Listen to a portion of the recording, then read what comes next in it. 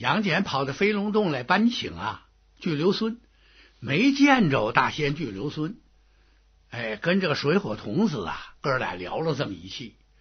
水火童子向杨戬一介绍，这土行孙呐，真把杨戬给气乐了。这人怎么这样？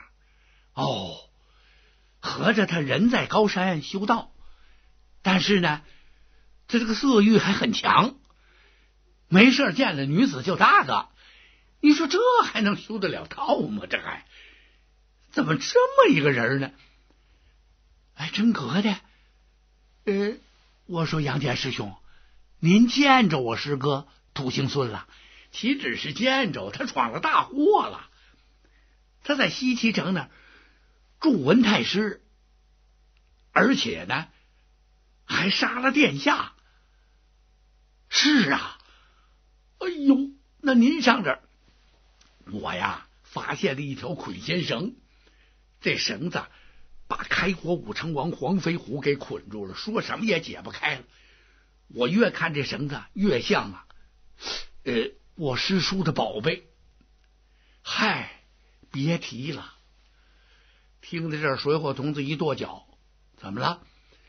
我刚发现呢。哎，在这个藏宝的地方，我这么一看，少了三根捆仙绳，一共是九条，丢了三根。我还正纳闷呢，哪儿去了呢？”我想问问呢，我师哥土行孙，结果我到后边石洞里头一看，连个人影也没有，也不知道他什么时候啊，呃，溜出这个洞府了，也不知道他什么时候下的山，感情他跑到西岐去了。你说这不给老师找事儿吗？这不是？杨戬一想，行了，你别着急上火的了，你告诉告诉我，我师叔巨留孙他在哪儿？哎呀，水火童子一听，叹了口气呀：“师哥，您还不知道啊？呃，我师傅也好，还有师伯师叔，就是玉虚宫门前十二大弟子，个个削去顶上三花，好不可怜呐！教主啊，把他们全都给接到玉虚宫去了。”帮着他们呢，恢复了三花武器。哦，原来是这么回事啊！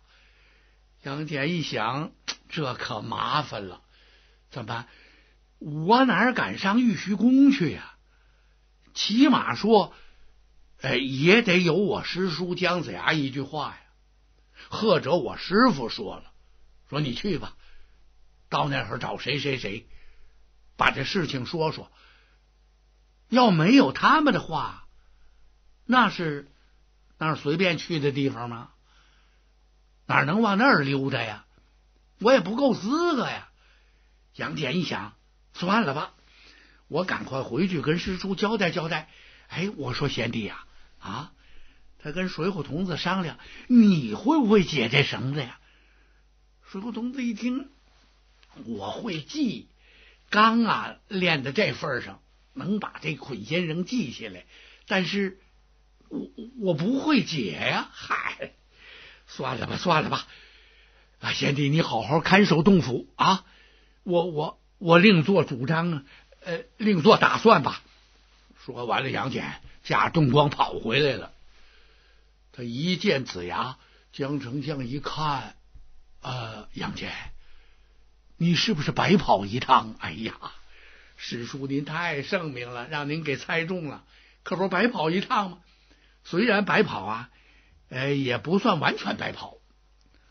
怎么这么说呢？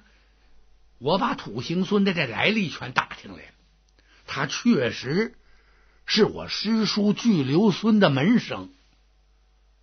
哦，姜子牙一听这个孽障，那么既然。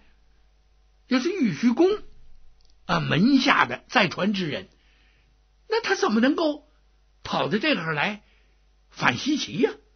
杀殿下？你这还了得吗？这个啊！杨戬一想，你甭管了，师叔，我呀，我我我找他去，找谁去？找这土行孙呐？我把他给收降过来，我跟他说说这前前后后的事情，我假传一回圣旨，我就说我师叔呃巨留孙有发旨，叫他赶快改邪归正，您看行不行？子牙一听，嗨，他现在已经是是邪迷心窍了，你去说呀，白说呀，只有把你师叔请来呀。啊！杨戬一听，子牙师叔说的对，但有一样，我应该呀从飞龙山直接赶到玉虚宫，但是我不敢去呀。为什么？我我不够资格呀。随便跑到麒麟崖前，我上那儿去，我干嘛去呀？师傅知道了，那非监管下来不可呀。子牙点了点头啊，哎。他同意，哎，杨戬这个做法，觉得杨戬做的很对，因为什么呢？呃，不管有什么大事，哎，有什么这这个使人十分恼火的事情，也不能那轻易啊去这个打扰玉虚宫，那那不得了。你呀不去算对了，师叔，您您吩咐一声吧。怎么？我有您的将令，我就敢去。子牙一想，那我也得合计合计。那么我也不能轻易就让你你去。哎呀，您要不让我去，那那武成王谁解救啊？看来这就要不行啊！这么勒勒来勒去的，还不把武成王黄飞虎活活勒死？现在就奄奄一息了，这不得了了！子牙何尝不着急？用不着杨戬说呀。那江城象棋的是坐立不安呐。与其这样啊啊，呃，杨戬呐，你在这会儿带着哪吒这些小兄弟，好好看守啊西岐城，一定要保护好啊武王千岁。我要亲自啊。上趟昆仑山，我得把这事情，哎，跟老师说一说。按照这个时间推算呢，时间也不短了，自己下山好长好长时间了，又有些日子啊没听老师的教诲了，我应该去一趟，那么见见老师，把西岐城的事情说一说。哎，附带着，我要能把你师叔巨留孙一同请来，那就更好了。哎呦，杨戬一听，姜子牙要亲自上一趟昆仑，那可太好了。那比我们这些小弟兄们办事儿那扎实多了。您的身份在那儿呢。子牙一听，呃，我来准备准备啊。那么我走之后，这会儿所有的事情，你就啊得多分分心了。杨戬一听，那是自然，师叔您只管放心吧。子牙收拾收拾，就在当天晚上离开了西岐城，奔昆仑山来。来到昆仑山，到了麒麟崖前，下了坐骑。往这一站，掸了一掸身上的尘土，哎，是心情平静了一下。子牙抬头看了看，遥望玉虚宫，自己不由得暗自长叹了一声。他长叹什么呀？子牙现在有点后悔了，当初一日不应该下山呢。虽然说自己呀学道。就是难成正果，列不到仙班之中。那么我就一直在这打扫丹炉啊，收拾卫生，就在这会儿啊，静心修炼，也比到西岐当这个丞相强啊。现在后悔也没用了。子牙找了一棵青松。把这个坐骑拴上，然后他奔玉虚宫来了，走了没有几步，听身后边有人叫他：“呃，前面是子牙师叔吗？”哎呦，子牙回头一看，是伯贺童儿。哎呀，贤侄啊，正是我呀！怎么办？你师傅知道我来了？当然知道。呃，您来干什么？老师也知道了。您想见见呐教主，但是现在您见不到。我师傅说，您得赶快回去。西岐呀，出了大事，把姜子牙吓得呀，机灵打个冷战呢。什么什么？他知道伯鹤童儿这不是在跟自己开玩笑。伯鹤童儿那对姜子牙是十分的尊重，怎么敢在子牙跟前胡言乱语呢？肯定这是有事儿，出了什么事情了？嗨，师叔啊，您赶快回去看看吧。现在那青福神摆件急的呀。是到处乱撞，找您也找不着了。怎么回事？有人胆大包天啊，在封神台前，居然把封神榜给抢跑了。什么什么？子牙一听，自从封神榜丢失之后，那真是费了三毛七公斤呐，九牛二虎力呀，好不容易才把封神榜请回来。怎么又让人家给给抢走了？不但抢走了，这一棒差一点把青福神摆件给打到封神榜上去。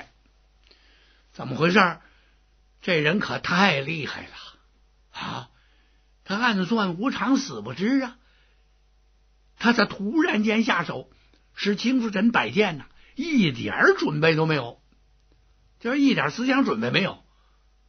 突然间，在他身旁就出现了一个人，就给了他一铁棒，把他打倒在地之后，这抢起封神榜就走。子牙一听，那这是什么人呢？如此胆大包天！伯和童儿告诉姜子牙说：“师傅已经告诉我了，这个人的名姓，此人姓土啊，叫土行孙。”哎呀！子牙腿一软，扑通一下坐那儿了。怎么回事？我就是为他来的呀！啊，你说这这个孽障，他怎么这么大的胆子？难道说吞了雄心豹胆了？胆大包天呐！你说这这怎么办呢？子牙现在为难了。那么，既然伯鹤童儿说了这番话。他知道这不是童儿编造的话，这都是南极老寿星告诉的，自己应该立刻就返回西岐。但有一样，武成王被捆先生给捆的，已经快绝气身亡了。那我得见见巨留孙啊，跟他请教请教啊。他去不了，哪么告诉我几句咒语，把这捆先生解下来呀？子牙刚想到这儿，只见呢，薄荷童儿一伸手，从兜里拿出一件东西来。他这么一看，是一份密简，交到子牙手里，告诉他：“你就按着这个啊念上三遍，这捆先生就自然脱落，他自己就解开了。”而且呀，用不了一两日，我家师叔巨留孙就要亲自到西岐助师叔你一臂之力。您赶快回去吧。子牙一听，多谢了，这都是南极老寿星好心安排呀。自己转过身来，恭恭敬敬、规规矩矩，冲着玉虚宫大拜了八拜，然后。辞别伯鹤童儿，骑上他的四不像，唰，一道白光，返回西岐呀。这可真是去的麻利，回来的快。杨显小弟兄们这么一看，哎呦，师叔回来了，一个个兴高采烈。不用问呐，把办法要来了。师叔您回来的好快呀！呃呵，快快快，您都见着谁了？哦，我都见到了。子牙也没跟这小哥几个详细说这番经过，说我谁也没见着。哎，只见到伯和童儿把我给打发回来了，哪能那么说呀？他先拿着这个密简到武成王府，把身边的人全都打发出去，然后门窗紧闭。子牙把密简请出来，连念了三遍。只听武成王黄飞虎大叫一声：“痛杀我也！”腾楞的一下站起来了，捆弦绳。落地了，子牙赶忙把这绳子缠吧缠吧，揣兜里了。怎么，这玩意儿不能让它丢失了？这要是丢了的话，你知道谁会念几句咒语，啪一下扔起来，这逮谁捆谁，受不了啊！哎呀，武成王啊，醒过来了。这时啊，院子里就沸腾起来了，大家进到屋来，呵。全都啊向武成王道贺，黄飞彪、黄飞豹二王千岁、三王千岁跟武成王这么一说，多亏丞相解救，黄飞虎是大礼拜谢呀！啊，要给子牙十大礼，子牙伸手相搀，你我同殿称臣，何须这么多的繁杂的礼节呢？哎呀，不必如此。哎，千岁，你好好静养几日，我得赶快回相府。子牙心里像着了火似的，他着急呀，他赶快回来了。回来把杨戬众人等叫到跟前，气得子牙直跺脚啊！谁把他给气成这样？土行孙呢？这东西简直太不得了了！怎么能够胡闹起来了啊？他打伤了青夫人，抢走了封神榜，我今夜就要到封神台亲自去一趟。他得安抚安抚青夫人摆剑呢。当天晚上，子牙真去了，去了一看，好嘛，青夫人摆剑伤势还真不轻啊。子牙给他留下了几粒仙丹，然后告诉他：“你不要着急，抢封神榜的人他不是冲着你，他对你摆剑无冤无仇，这是啊冲着我江上来的。”我自有道理。子牙现在恨不得撒下天罗地网，一下子就把这土行孙给抓住。抓不着啊？怎么回事？土行孙现在在成堂大营里头，呵，那简直神气十足啊，威风不可一世。眼看着太师文仲啊，都没他这气魄了。好这众将都围着这土行孙转悠，土行孙美的不得了啊！怎么谁比得了我老土啊？嗯，西岐城夜晚行刺，谁敢去呀？没人，那是我。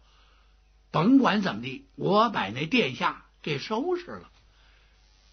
纵然就算杀错了，但是我杀了一个。而且我随时可以把姜子牙的首级提来，那还不算。最近我又把封神榜给摘了，因为这几天呢，待在这成堂大营里，他听太师文仲讲，跟他说的呀，啊，非常详细，就这封神榜的来历、一切等相。如果说要把这榜摘了，姜子牙呀当不成这丞相，他也保不了这个周武王。